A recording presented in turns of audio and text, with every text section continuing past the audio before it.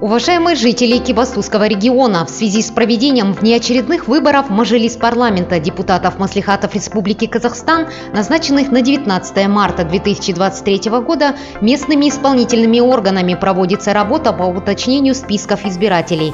С 30 января текущего года начал свою работу колл-центр для уточнения гражданами сведений об их включении в список и достоверности их данных.